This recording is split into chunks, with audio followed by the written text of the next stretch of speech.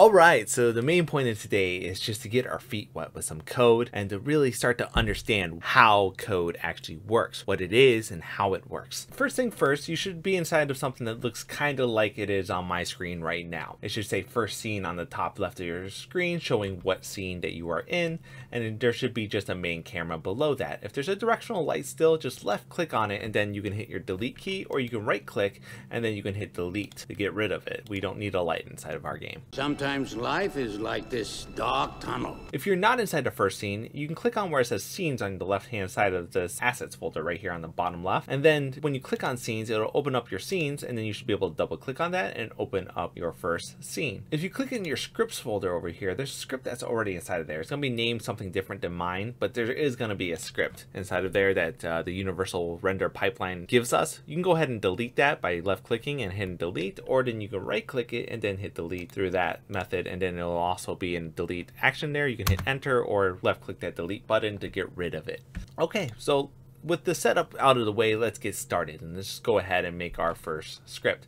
So if you left click on our main camera, we'll go ahead and just make that first script right here on this main camera. So by left clicking on that, you'll see add component over here on the right hand side. You can close in all these arrows because we're not going to be using anything else that's on this camera for now.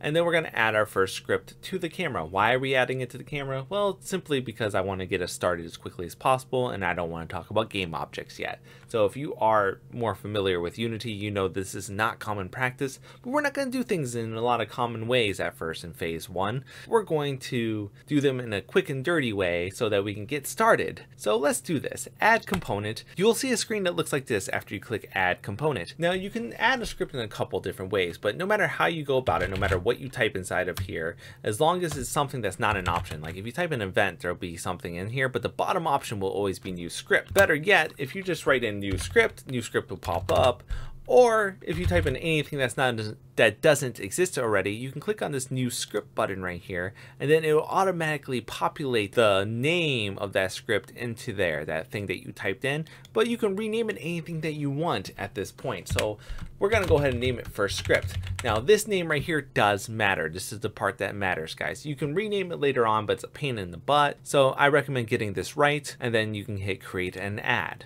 Eventually it'll completely load up and you'll see first script pop up inside of the main camera. If you don't have your main camera selected, it won't show up there. So you have to left click your main camera and first script should be right there. If you click this grayed out area right here where it says first script, it doesn't look like you can click it. You can though and it'll turn it yellow down here in the bottom screen and it'll also go into whatever folder it's in. So if you're in your settings, for instance, and then you have your main camera selected and then you left click on first script, it'll bring you to your first script.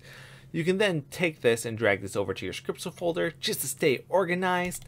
And just like that, we've gotten set up and we're ready to open up our first script. You can do that by double clicking on first script, or you can go to your main camera and double click that grayed out area that looks like you can't click it, and it'll open up Visual Studio for you. So right off the bat, you're not supposed to understand diddly squat about what's going on. And in this side of the series, you might feel lost quite often. Sometimes life is like this dark tunnel don't worry, I'm going to reiterate, re-explain, just keep pushing forward because eventually, hopefully you'll get it because the point of this series is to expose you to things continuously. All right, so let's delete these things at the top using system.collections, using systems.collections.generic, select it all, highlight it with semicolons and all, hit delete. And then you hit delete again to get rid of that ugly black space and you'll just have using UnityEngine at the top of your screen with that semicolon. Then you're going to take this whole update with the comment down below. So everything from down below this bracket right here and just delete it. And then you can go ahead and get rid of the start comment as well you should end up with a very clean looking bit of code that looks kind of like this without any understanding of what's going on or if you're just in here for a refresher that's okay as well. Now, you'll notice that MonoBehaviour is color isn't changed. The color of this should match up with the first script color on here. And for it not to have changed means that things are not compiling correctly, that Unity and Visual Studio are not communicating very well. And you'll see that this happens quite often. It's quite a buggy relationship. So let's go over here to where it says void start and we'll start working on this bug. If you say debug, you have to have that capital letter in front, just like I do, and make sure that you have this completely match. You're gonna hit a period or a dot, depending on what you call it, and do capital L-O-G. Do some parentheses. then You can put some quotes inside of here, and you just say something on there. It doesn't matter. You go to the end of the parentheses and you say a semicolon. And that'll get rid of that ugly red squiggly line because that semicolon tells the code that it's done running. We have not explained any of this yet. That's okay. Now, for debug and log not to change color, that means that the system doesn't know what they are supposed to be. Because it kind of gets that it should maybe know what it is, but it doesn't have any clue. So if you hit Control S to save, or Command S if you're on a Mac to save, and then you go back to Unity, and then you run this, and then you go to your console, and you'll see hi prints out there. So our debug.log is working, even though the colors did not change, the code is still compiling and running correctly inside of Unity. Now, if you go back to Visual Studio and then you exit out of there and then you reopen your first script by double clicking that gray area, well, hopefully things change color and work for you. So let's go ahead and make another change, save it, let it recompile, and then reopen the first script again. And there we go, the colors changed. You might need to do that a couple times and try it without running the game and stuff. We don't know where that compile error is coming from. It, sometimes you just got to work with it. And once it starts working, it tends to keep on working for a while. Now, let me show you why you want this to have worked correctly in the first place, why we go through the trouble of restarting Visual Studio when it's not working correctly. If I put the capital D in here now, it'll start giving me suggestions. This means that the IntelliSense, Microsoft's auto completing function gives you suggestions on how things work will start functioning correctly. And you can see debug is on here now. It's one of the list of options that starts with a capital D. So if I put in a lowercase e, it starts to become the top option. And we can double click it and it'll automatically fill in there. We hit this dot inside of it and it'll show us all the things that debug has access to. Again, you don't need to completely understand this right now. It's completely okay if you don't. Now, if we go down to log, which we just used, which is what created that message for us that said hi, and double click it, you can see that that is now in there. And we don't have to remember what we have to use from debug. We can go, oh man, how do I print information? Was it print or what was it? And you can kind of look through all these functions to try to remember what you were supposed to use. And Unity a lot of times put notes on there, logs a message to the Unity console. Oh, debug.log is what I was looking for you put the parentheses on there, it'll show you kind of an example on here. So debug.log, and it'll tell you what it needs to take in, that message right there, right? And so you can go ahead and put a message down inside of this. And in this case, you it can take in some quotes. Just know that whatever you put in these quotes right here will be printed onto that log that we saw hi print out to earlier. And then you put a semicolon right here at the end to signify that we've come to the end of that code. Now, at this point right here, we're expecting you to understand nothing, nada, not even one character of what I just talked about. You're not supposed to understand anything. It's okay, guys. We're going to explain things on a deeper level. We're really just trying to get a grasp for how code works and to write our first bit of code. But before we get on that, I'm going to give you guys a challenge. And before I give you that challenge, I'm going to explain to you why challenges are so vital to you succeeding inside of this series. The truth is, humans do not learn by seeing, they don't learn by hearing. That's a bunch of baloney. They learn by doing. If you want to learn archery, you pick up a bow, you pick up some arrows, and then you find something to shoot at, like an apple on somebody's head, and then you fire at it hopefully after you've gotten better and you can aim correctly. If you want to know karate, you go practice karate moves and you spar with people. If you want to get better at peeling apples, you get a knife and you get an apple and you start peeling. The point is that by doing, it forces your bodies to adapt. By being forced to adapt, you learn. See, all learning is, is your brain rewiring itself to do something. And if you're not doing anything, if you never put your brain under any kind of strain, then it will not rewire itself to do diddly squat. It just won't do it. We start off with a low strain on here, the equivalent to doing one single push up, right? And we go over here and I'm gonna give you a really simple challenge to start off with. And as time goes on, these challenges will get progressively harder. They'll go from one push up to two push ups to three push ups to 20 push ups to benching to benching 100 pounds to benching 150 pounds to benching 200 pounds to benching 400 pounds. You know, it goes up and up till you get to the point where you're strong enough to do this on your own. You don't need me anymore.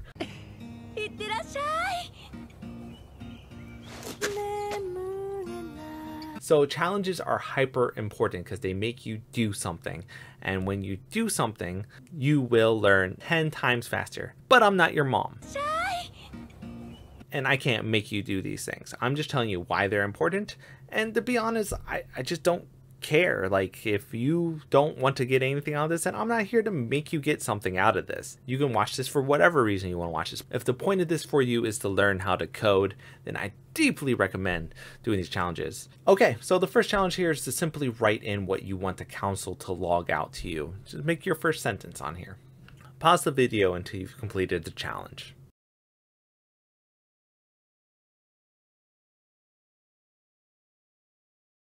All right, so if I can write anything I want onto here, and just to kind of display that, it doesn't have to be anything coherent. It can be any combination of numbers, letters, symbols, anything. Oh, except for another quote, because it ends the quote, of course, right? But there are ways to write quotes in there, we're just not going to show you yet. And the important part is you can have things like parentheses and semicolons in there, like so, which is why we have to have strings inside of quotes, because if it didn't, Unity would think that this whole function was ending right here, this whole log, and it would think this line of code's ending right there. But these symbols can be used within the quotes to be part of the quote, that'll be part of the string, that'll be part of what we're printing out. So going back into Unity, if I hit the play button now, you'll see that ridiculous line of text that I put into there print out down there in the bottom, spaces and all. So going back into our code, we can start to see what's going on. Now let's explain this a little bit better. So how's this work? You see, anytime a piece of code is called, anytime a piece of code is executed, something tells this code to run. So what is making the start right here run? It's specifically this part right here that's running, right? If I was to put in something like void blah, so, and I was to copy this and to paste this down here and just to write ha ha ha blah is here or something like that. I, I don't know what I'm doing, guys. Seriously, no clue. And then I go over to Unity. What's going to happen when I hit play? Well, we still get that really, really messed up like code that I had earlier. Like, I don't know what that thing is supposed to mean down here in the bottom. And we have no blahs here, ha ha ha, going on down there in the bottom of the screen.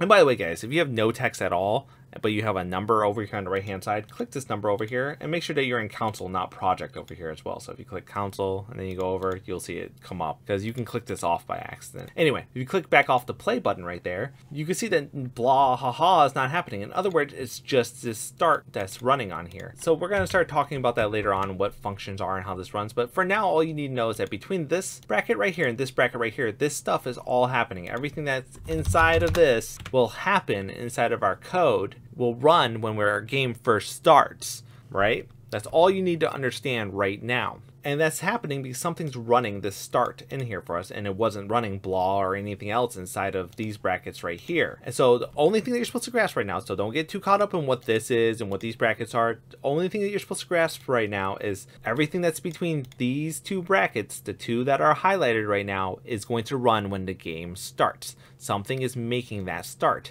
So once this starts, all this stuff is ran from top to bottom, left to right. That's how code works. Top to bottom, left to right, right? So what happens if I do something like this? If I hit the enter key after log and then I save it and then I go to run it inside of our game, right? What happens? Take a guess. Do you think it will run or it won't run? Going back into Unity, I hit the play button and nothing's changed. The timestamp changed. What's printed out? Exactly the same thing. Nothing changed. Why is that? So let's make first line just so that we can be a little bit more coherent. And then for a challenge for you guys, go ahead and make a second line print This is just to display to you that you don't have to absolutely understand exactly what's going on to use something. You just copy it, you get onto the line below that, and you paste it, and then you can simply write second where we previously wrote in first, and you're going to be doing this a lot in the first four videos. You don't have to understand what debug.log means, you just have to be able to print out lines of text for now. Four or five videos from now, you're going to understand what everything on the screen does and why it works and what calls what. That's a further down the lines thing. This is about exposure. So keep on pushing forward, friends. You can't always see the light at the end of the tunnel, but if you just keep moving, you will come to a better place. The only things you're supposed to understand is everything between these two brackets happens when the game runs. And if I copy and paste this, the things that are inside these quotes in the middle here will print out on our console. Those are the only things that you're supposed to get right now. And even that, I'm going to repeat a couple times. If you're feeling a little lost right now, don't worry about it. So debug.log, let's go ahead and run this one more time on here and you'll see first line pop up and second line pops up, right? So there seems to be no rules is what I was trying to showcase by throwing in a bunch of spaces and, and showing that it still worked inside of Unity. The rules don't seem to be very consistent. And to get the consistency, to get the underlying rules that are underneath everything, you have to really know what's going on, how this program works, how code works in the first place. So pay close attention because this is the main point of this video right here. You see, this stuff right here, debug and log and all this stuff right here that's on the screen, all these words, they don't make sense to the computer. The computer actually has a program that actually reads through all of this and translates it into actual machine code. This is an actual name for it, but for the sake of this tutorial, I'm going to call it a translator. We have to get to know it pretty well because it's what determines the rules that we have to follow. So real quick, let's just run a real fast simulation of how this translator works. So when void start runs, it starts right here inside this bracket. It goes, okay, I'm running void start. So the translator goes into here and it goes, okay, I'm gonna read through it. And this translator is made by humans, obviously, it's a program. So it starts right here at the top of this bracket and it reads it just like we do, top to bottom, left to right. It goes through all these blank spaces and it just skips over them. It goes, okay, these mean nothing to me. We don't have to care. I have the first important symbol here and then it sees the next important symbol happen right here, this capital D. It goes all the way until it hits the next symbol, starts counting from this first letter all the way over to the G right here.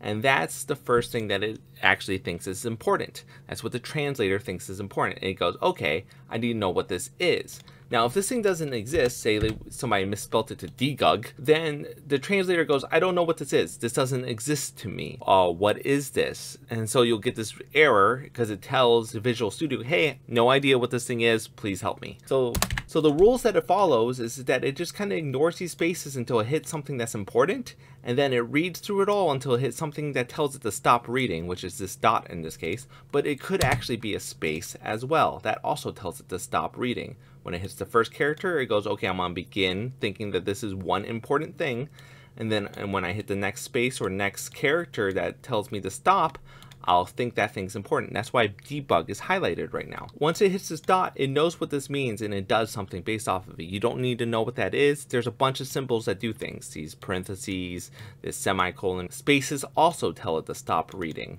right? So you can't put a space between the L and the O because it tells it to stop reading. So because spaces just tell it to stop reading and don't tell it that the code has ended, then it gets to the semicolon. The reason why the semicolon is so important is because it tells it, if I push enter a bunch of times, the semicolon is what tells it that, okay, we're supposed to run our code now. And then it kind of goes all the way back to right here, right? It goes all the way back to where it first started running. It knows that this line of code really starts at this D and it goes all the way to the semicolon and it executes the code based off of that. Until it hits the semicolon, doesn't have enough information to know what it's doing because this because everything that happens before the semicolon all the way up and through there they're interrelated information right? And you don't need to fully understand that right now. Just know that the semicolons are important because spaces exist. The main takeaways here are once it thinks something's important once it hits a character or something that it thinks is important it'll read through it until it hits something that stops it and then it'll look that thing up. And it'll continuously follow through on that process until it hits a semicolon and that's when it executes that code now that's a greatly simplified version of what it actually does. It's a lot more complicated than that, guys. It's I know somebody's gonna go into the comments and be like, that's not actually how code works. I'm gonna save this and let's go on forward. So the point of today's lesson is just to get your feet wet with code. As soon as you've done these two things right here,